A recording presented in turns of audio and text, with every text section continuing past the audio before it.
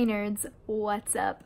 Today we are beginning the next reading vlog for Queen of Shadows by Sarah J Maas and I'm so excited. I'm about 115 pages in, 120 pages in and so I'm to go through the annotations that I have so far and we'll get this reading vlog started. I'm so excited. This is, we're now in the moment where like, these are my favorite books. Number three, uh, Heir of Fire, Queen of Shadows, and Empire of Storms are the three that like really hold a lot of love for me. And I think if I had to put like one one on the top, it might be Queen of Shadows. I'm so excited. I'm so excited. right, let's go. Of course, as always, the map. There will be spoilers all within this PS. I forgot to warn that. Part one, Lady of Shadows. So we start off with a chapter from Dorian's perspective inside of his own thoughts as he's still sharing his body with one of the Valg princes. And he says that he could not remember his name. And also he says that he could not remember if the thing was the prince or if he himself had once been a prince. Not likely. A prince would have not allowed a, that woman's head to be cut off. And like he can't remember anything and it's sad. Then on page 10, she would not leave Rifthold until she'd buried them both, talking about the king and Arobynn. Um, and then we get some plot building stuff. It had still been a shock weeks later when the ship had passed some unseen marker just off the coast and her magic had vanished. It was a new sort of emptiness.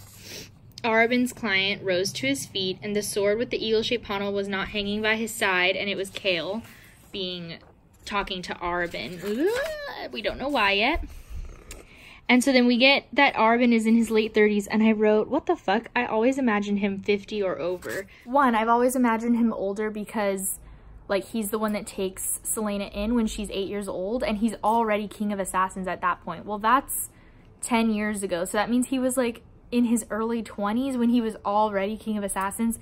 It just doesn't seem that likely. I always pictured him older. And then also there's, like, a lot of, like, creepy pedophilic things about Arobynn and like it makes it creepier in my head that he's even older than he is, although it's still creepy at 30, but like I just always imagined him older than that. Continuing on on page 35, the start of chapter 6, three weeks ago he abandoned his position at the castle and fled, that being Chaol, and to join the rebel cause. So we find out that Chaol has left the king's rule.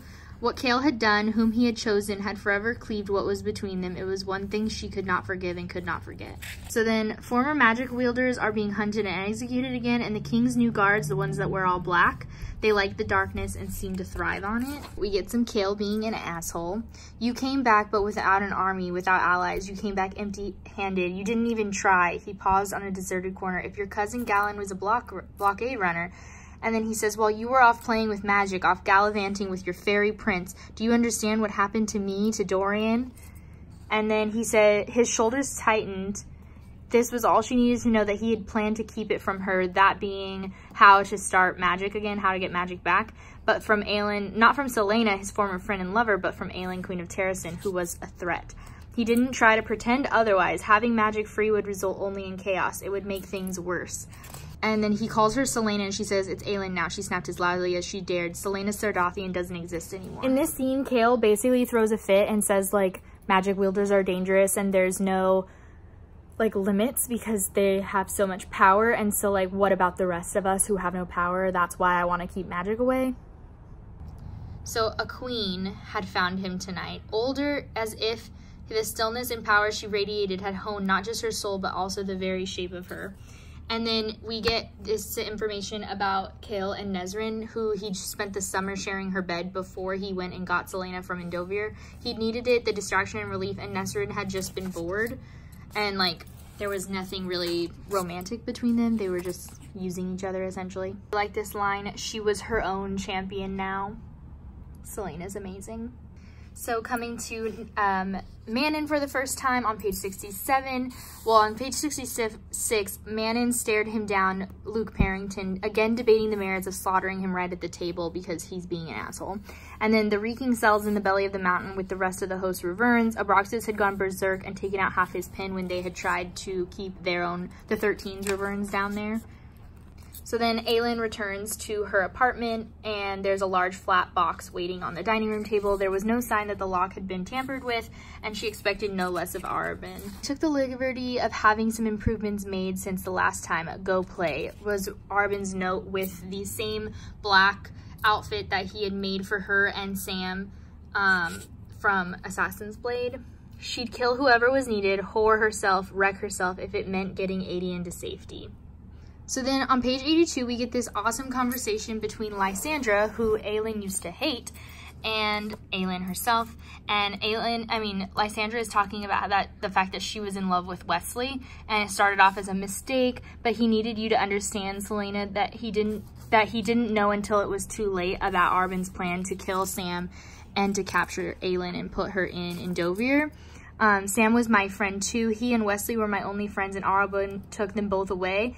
And then the girl gestured to her scarred face and said, she did this to me. This is the young girl that is like the courtesan of Lysandra.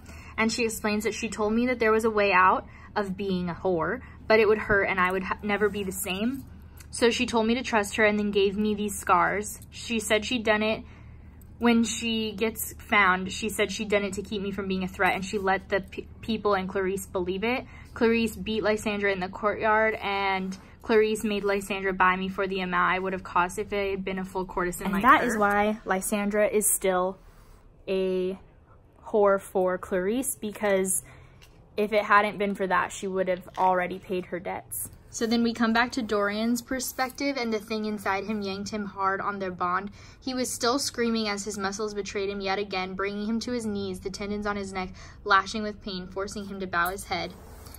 And the king looks Dorian over, those black eyes full of delight. I should have done this years ago. Foolish of me. He's gross. First funny time. I feel like I should cover poor Ress's eyes in these half chambers. Ress chuckled. I'm 19, old man. Nothing here surprises me. And then Nesryn says, I'm 22, and I think we city guards see a great deal more than you palace princesses. What Chaol could see of Ress's face flushed.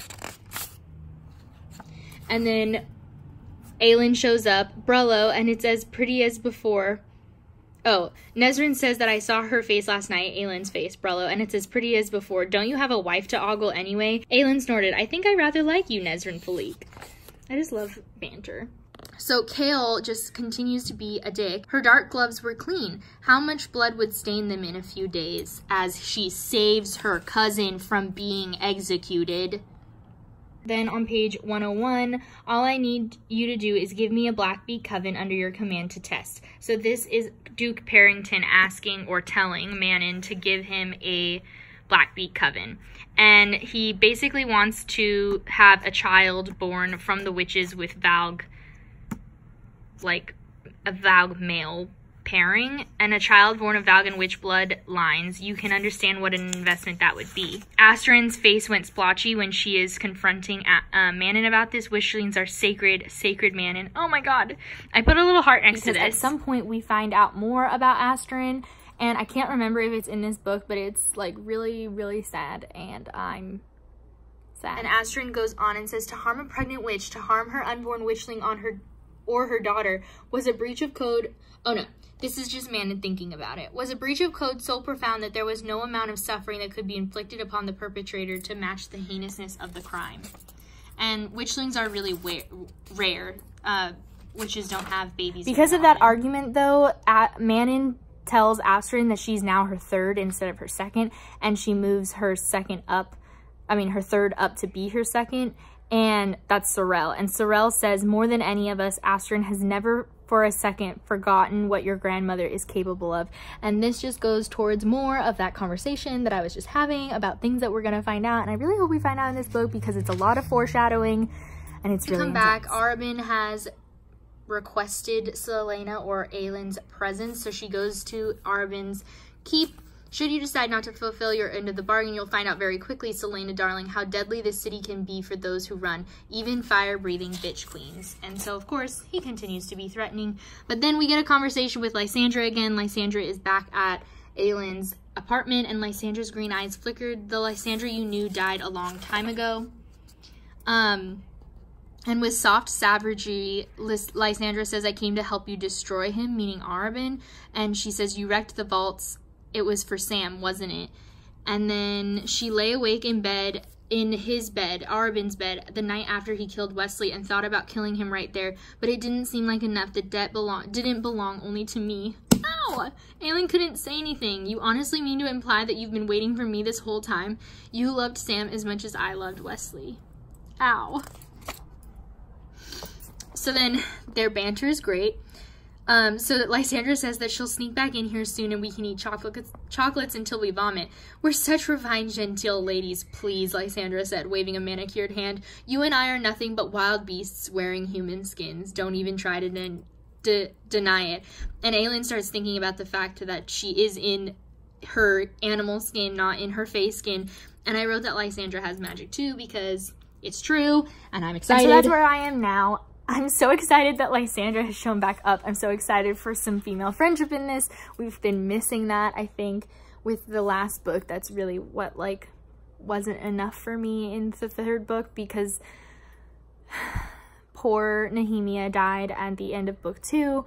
And so we were just missing that and we're just, like, in the depths of Celaena's depression with and grief with losing Nehemia. And so I'm just really excited that Lysandra is so quickly a friend to her. Excuse my pa pants. I am wearing a romper today. It's like low cut and then it's shorts. I like it. Um, but yeah, so like so close to the beginning, there's the comparison there. So close to the beginning, we're getting Lysandra friendship and I'm just really excited for that to bloom.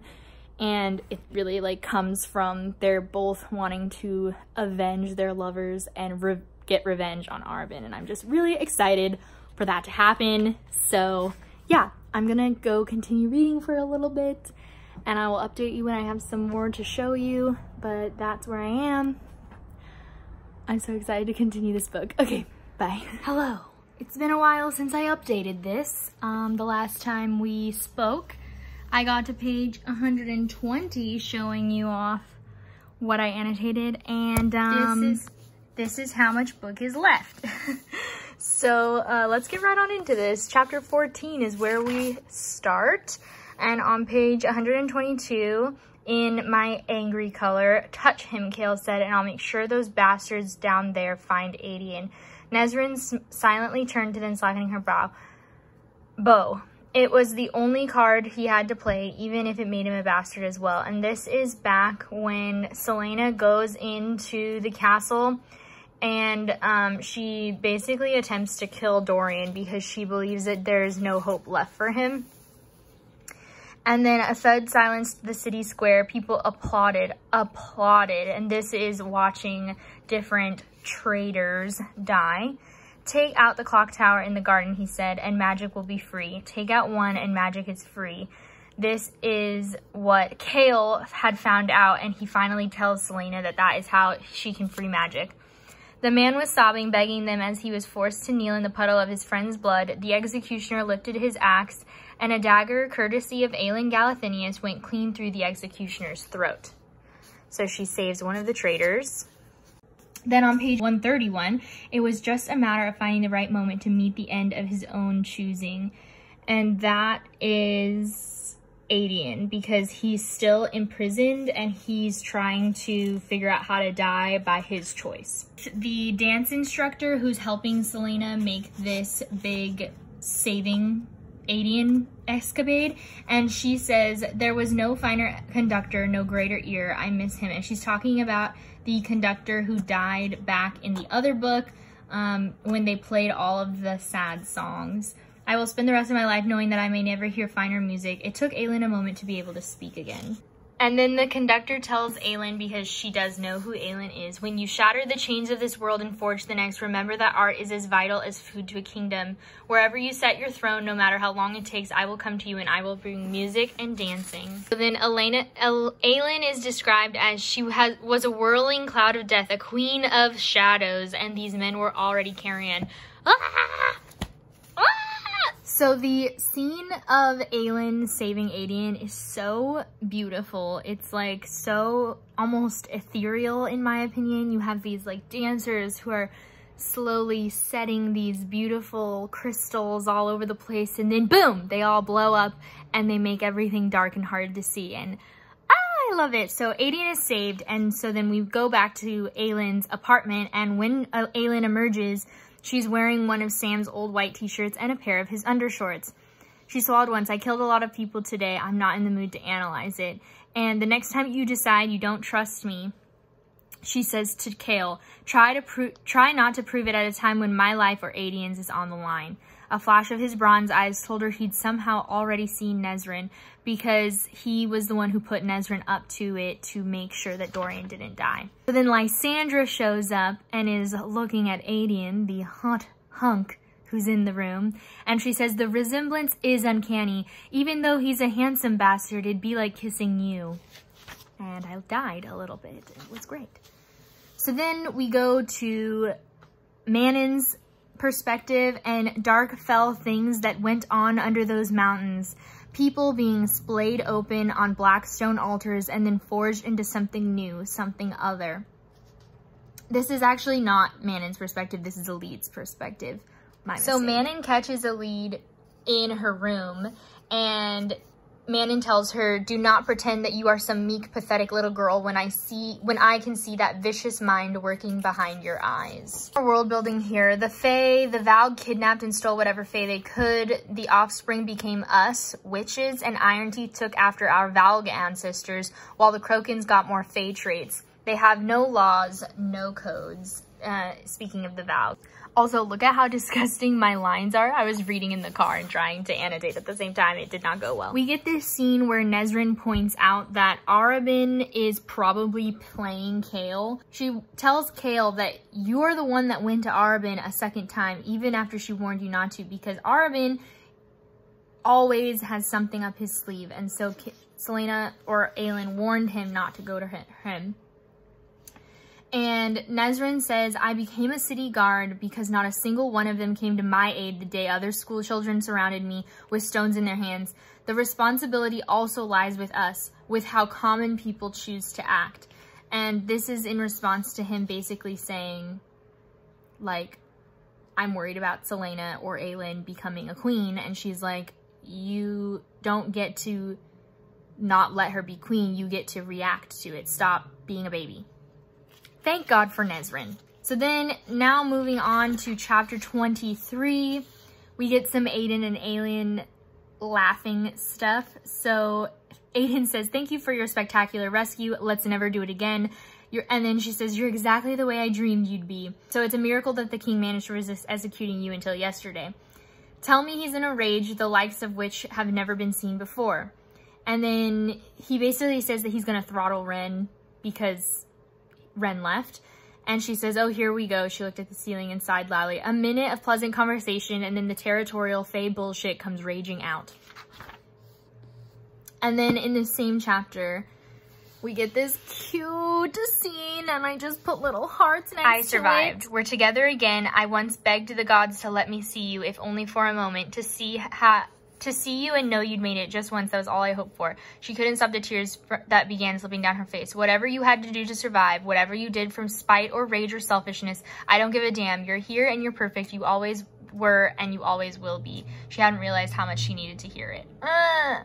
So then Aelin shows up in the like fighting ranks that Arobynn has like the pit basically, and Aelin was grateful for the mask that hid the tightness in her face as Lysandra include her head, inclined her head in greeting because they have to pretend not to be friends. Alas, my fighter fell through, he says. Um, I told the owners you were trained by the silent assassins for the Red Desert. You remember them, don't you? He's just being a dick. She wondered what it was like to have to endure the man who had slaughtered her lover, but Lysandra's face was a mask of worried, wary mindlessness. I hate Arobynn so So much. back in the mountain, Duke Perrington is a big asshole, and he basically is telling Manon that she needs to pick a group to be implanted by Valg Demon to have Valg babies. She'd gone to training where Sorrel had kicked her ass in hand-to-hand combat, and the Blue Bloods had seemed excited about this thing that Duke Perrington is trying to do. They had gotten their noses broken by suggesting to a Blackbeak coven that it was their divine duty not just to go through with the implantation, but also to go as far as to physically mate with the Valg. What? So then we move on to Aedion's perspective, and we find out that in Terrasen, the kings and queens had picked only one of their court to swear the blood oath. And Aedion is still not aware that um, Rowan has sworn his blood oath. And so he's basically talking about he's talking about Rowan and he says if the Fae Prince expected to be offered the blood oath, then it was an effort to keep him from tightening his grip on Aelin. And I wrote, yikes. And then a couple pages later, Aedion says, when you're ready, I'm ready. And she asks if he still wants it. And he says, of course I do. It was my right then and now. But um, it can wait until we get to Terrasen, but it's going to be me who takes it, no one else. And her throat bobbed, right. And she doesn't tell him. And then the Valg soldiers, they went to the market tonight and sealed the exits with everyone inside, and then they burnt it. The king could have ordered their slaughter by any means, but he chose fire. Potentially, Chaol is saying, because of Aelin. And Chaol is basically being a big dick and saying that it's Aelin's fault that the king chose to kill a bunch of people, which, what? And she hisses at him, Need I remind you, Captain, that you went to Endovier and did not blink at the slaves at the mass graves? Need I remind you that I was starved and chained, and you let Duke Perrington force me to the ground at Dorian's feet while you did nothing? And now you have the nerve to accuse me of not caring, when many of the people in this city have profited off the blood and misery of the very people you ignored. You go. So finally, on page 247, Rowan says in front of Aedion, I'm blood sworn to you, which means several things, one of which being that I don't particularly care for the questioning of others, even your cousin. The words echoed in his head, his heart. And that's how he finds out that Rowan has done it. You let him do what? What have you done to save our people since you've returned? He asks. And then she tells him to go have his temper tantrum somewhere else. Don't come back until you can act like a human being, or half of one at least. He swore at her a filthy foul, curse that he immediately regretted. Rowan lunged for him, knocking back his chair hard enough to flip it over, but Aelin threw out a hand. The prince stood down. She that easily, she leashed the mighty immortal We go to. Rowan's perspective, and we finally realize that Rowan is also in love with Aelin, even though we didn't know that until this book. And he's basically of the mind that she's off limits. And then she says to him, I'll issue a royal decree about my honorable intentions towards you over breakfast. He's basically telling her, like, no, no, no. And she says, what message does it send? That I'm a whore? As if what I do in the privacy of my own room with my body is anyone's concerned. And then he says that things are different now, and he's like trying to remember his boundaries. She heard rather than saw Rowan jolt upright when she when he awoke because she was wearing a pink, delicate, very short lace nightgown. And he says, "You forgot the bottom part." Also remember that they're sharing a bed right now. Then in her perspective, she's thinking that there's little that she could do to jar him or taunt him because he's like this immortal. But and he says, we're not talking about this. And she says, Aelin 1, Rowan 0, because she got him all flustered. Back to chapter 31, which is back in Morath, we see that black fire floated from Kaltain's fingertips and slithered over his skin, leaving no marks, but he was still being tortured. This is just some random person that they are holding captive, and this is called Shadowfire. She says that it comes from me, um, in a voice that was dead and hollow and yet vicious. It has always been there asleep and now it has been awoken, shaped anew. Basically, even though no burns are marring his skin, she's torturing him. Great, great, So great. then Manon confronts Duke Perrington because she's not able to go see the Yellowlegs coven that volunteered to be implanted. And she says to him that you won't have a God's damned army to ride those wyverns if you lock up all of them for your breeding experiences. And he basically says if you disobey my orders again, the next time it might be, meaning a punishment, and he would make the 13 be the ones who become implanted. And then he also threatens her saying that if you try to sneak in, then they'll never see daylight again and consider yourself warned. And we find out that her grandmother is aware of this situation. Now we move to Elide and Elide realizes there's someone inside of her room waiting for her. And so she keeps walking all the way to the moonlit area and she goes up and sees Abraxos and his tail moved slightly, the iron spikes clinking on the stones, wagging like a dog because he loves the lead and I love Abraxos. She tells him, please don't eat me, and he huffed as if to say you wouldn't be much of a mouthful. But his wing remained extended as if she were an animal in need of calming, and so she sleeps with Abraxos that night.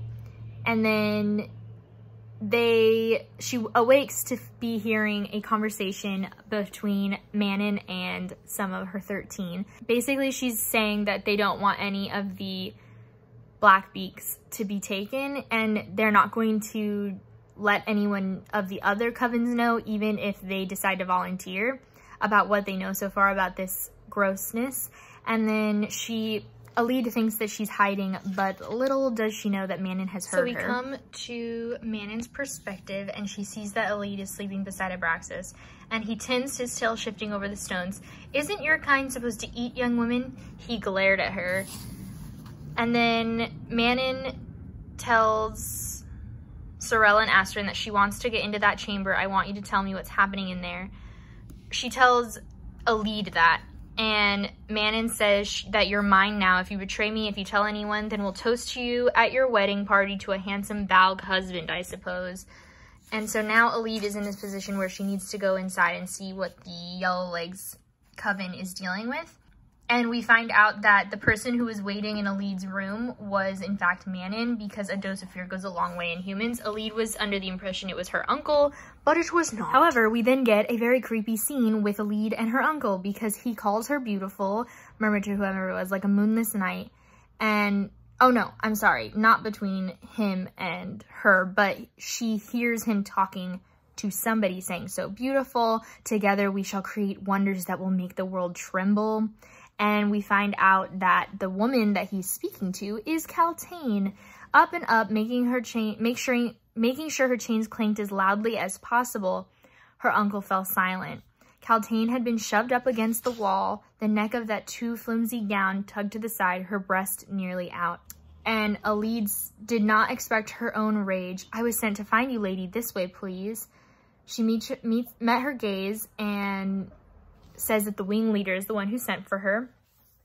And the wing leader isn't authorized to meet with her, says her uncle. And she says, and you are? She set herself between them. I love Elide.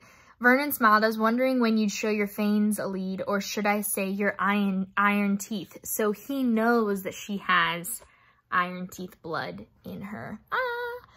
And then slowly, as if it took her a lifeline to remember how to do it, the lady slid her eyes to Elide. so Kaltain looks at her. But then she merely walked away, that dress hissing on the stones, and she doesn't say anything. We finally get the scene I've been waiting for, which is when Lysandra meets Rowan, and she says, he's spectacularly built. I've never been with a female, or female for that matter. Aelin shook her head and tried to clear the image from her mind. Lysandra was grinning and Aelin hissed, setting down the bags on the great room floor and shutting the door. Stop that. And then she brings clothes to Rowan, I think. The clothes might be tight, but not that I'm not that I'm objecting to that one bit, but he can use them until you get others. And then Aelin offers to kill Clarisse, the person who is in charge of what Lysandra owes as a whore. And she um, offers to kill her. And Lysandra says, not yet, not now. And then Aelin says, say the word and it's done. Lys Lysandra's smile was a thing of savage, dark beauty. I love we her. We then get Chaol's gross perspective as per usual, and he he sees Rowan and a handsome fairy prince. While Chaol's own life fell apart, while people died because of her actions, she was off with Rowan. And I said, are you kidding? Because how dare he? Throughout this beginning of the book, Aelin has been like off sneaking around, and we don't really know what she's up to, but we find out that Lorcan is in town, which we actually already knew because that's why Rowan also came, is to track Lorcan. And it only took a minute before near silent boots scraped on stone below tracking her as he had done all night, as she had let him do all night. Lorcan rocked right into that den of vowed commanders and the word hound that had come to retrieve their reports and a fight broke out. Lorcan calls Aelin a bitch and she says, I'm rather tired of being called that. You'd think five centuries would give you enough time to come up with something more creative. Love it. When Aelin comes back, she mentions that she all, like threatened to cut off Lorcan's dick. And she says, at least, at least I said it would be a big mistake, she said with a fiendish grin. I was tempted to say little. Rowan laughed, his eyes dancing. Then you definitely would have been dead. Rowan finally admits that he's aware that Lysandra is a shapeshifter. It all comes together.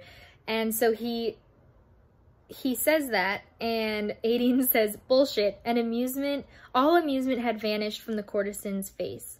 Holy gods, what was fire magic or wind and ice compared to shapeshifting? Um, and Rowan explains that the scent is the same from previous shapeshifters he met centuries ago. And Aedion says, oh, so that's what it is. Lysandra explains that she was seven when she found out that she could shift and she, her mom beat her and then threw her out of the house, um, which is depressing.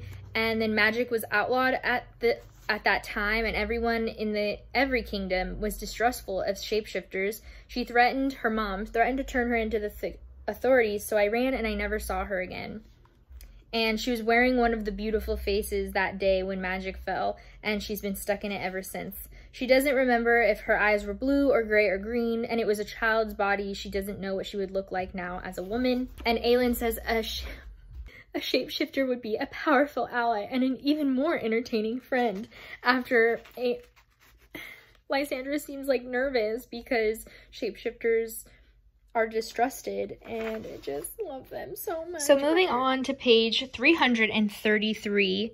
Did you know, Elide said, her voice uneven with rage and fear, how many times they were each to be implanted with offspring before they were let go? Um, from what I saw, they've delivered at least one baby each, and they are already about to give birth to another. And Asterin asks about the witchlings, and I put parentheses because we're going to find out more about that later. They are creatures, black. Their skin is black diamond. They have snouts with teeth, fangs. Already they have fangs and teeth of black stone. Um, the yellow legs have been chained to the tables or altars. Basically, these aren't babies at all. They're monsters. And upon hearing all of this, Manon says to her Blackbeak coven that we're not going to free them and we're not going to fight for them right now. And Asterin is pissed. And I freaking love Asterin's plot of this book so much. Like, we don't really know why yet, but we'll get there and... so, moving on to page chapter 41, or I mean, to chapter 41, Naked, Aelin stood before the bathtub, unable to reach for the bottle of Arobynn's chosen scent. His scent because he knew that a Fae male had come to stay with her. And so he asks her to, he had asked her to dinner to like plan the thing that's going to happen. And he gives her this almond flavor scent thing. There's a sly grin. Don't forget your cloak. You really feel rather guilty when all those mortal women combust at the sight of you. I'd say likewise, but I think you'd enjoy seeing men burst into flames as you strutted by. She winked at him and his chuckle echoed through her bones and When blood. they get to the dinner, Rowan thanks Arobynn for the oil. My skin was a little dry. Arobynn blinked as much as blinked as much surprise as he'd show, and Aelin smiles because he'd worn it too. So in this next scene is when Aelin gives Arobynn information of how the king is controlling people with the ring, basically saying that he licks their blood so the blood is within him and then that's how he controls them using the ring. And by the end of it, Arobynn attempts to control Aelin and Aelin plays along and pretends that she is under his control until they get back to the apartment and Aedion didn't know that it was a trick and so he's like freaking out. And then finally they walk in and everything is fine. And it was very stressful.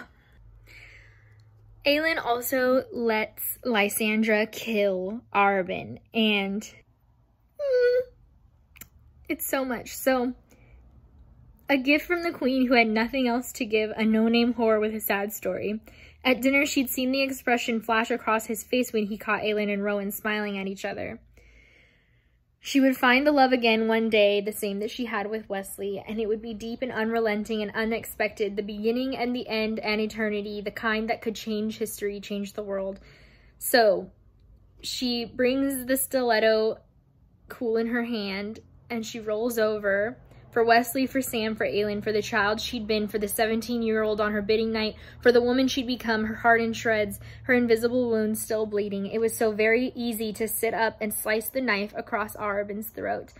I almost wish that he had gotten, like, a little bit more gruesome of a death because he fucking deserved it. But I'm also very glad that Lysandra got the got to do it.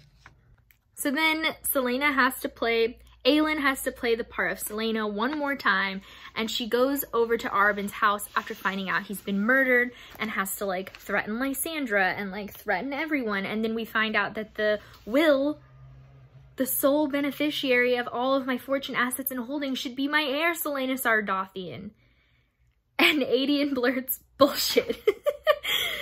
Oh, so then she just plays her part being an angry Celaena Sardothien and then leaves and I... On page 415, we find out that the King Erawan is buried in the Black Mountains. No wonder Morath is over there. Ah! I also started annotating in pencil because I didn't have my pens. Lorcan tells Aelin that the ring that she traded for Rowan, essentially, um, is the immunity of from Erawan. And so Maeve is currently immune to all the things going on, except that Lorcan has the ring. And he wants to trade it for the Wyrdkey that is the Eye of Elena. Or not the Eye of Elena, the um, Terrasen stone that they took from Arobynn. We then have everyone in the same place at the same time. Manon is with the High Witch, her grandmother, with the king. The grandmother bows to him and never had Manon's grandmother bowed or curtsied or so much as nodded for another ruler, not even the other matrons. So she's like, what the fuck? We also get this wonderful scene where we finally find out that Dorian is indeed still inside and he, the prince that is like controlling his body right now is afraid of Manon because she has the Valg King's eyes. And so Dorian is able to take control back for like a minute and he tells Manon his name. And this will be important later. we also get this beautiful scene. Okay, so Lysandra was taken prisoner. Arobynn's doing his one last act, his little, such an asshole. So Lysandra is, in, is captured. That's why Aelin and Rowan and Aedion are there. And so they, they get Lysandra out from the prison and the little like cart that she's being held captive in. But Manon finds them and then this glorious fight breaks out between Manon and Aelin and I like, oh my god, my blood is so ready for them to be friends. Like I cannot wait for their enemies to friends to happen. And in the scene, Manon almost dies and Aelin decides to save her because she's like falling from the rocks. So now Manon owes her a life debt and Oh, it's such a beautiful scene. We finally get the scene that I've been waiting for, which is when Asterin finally tells Manon what happened. And basically, Asterin, when she was like 20 years old, and remember these are immortals, so they're like old even though they look like they're 20. Um, when Manon was, I mean, when Asterin was actually about 20, she flew on a mission and she fell in love with a human and had a baby um, well, she got pregnant and then witchlings are like highly revered. So she goes home and everyone is like, yay, yay, yay. Manon was out on a, on her own mission at the time. So she never knew of this. And the baby was stillborn. And for that, the grandmother beat her. It's horrible. It's horrible. I don't even know what else to say. But that is why Asterin has been feeling so strongly about the witchlings that are being created by these Valg nasty monster things and it hurts. So Aelin pays off Lysandra and Evangeline's debts and they may receive the mark of their freedom. And Lysandra starts crying and Aelin says, I hate you for being so beautiful when you cry. And then she continues to weep and says, just shut up. She lowered her hands, her face now puffy and splotchy. Oh, thank the gods, you can look hideous when you cry. Lysandra burst out laughing. Make me want to live, Rowan. Not survive, not exist. Live.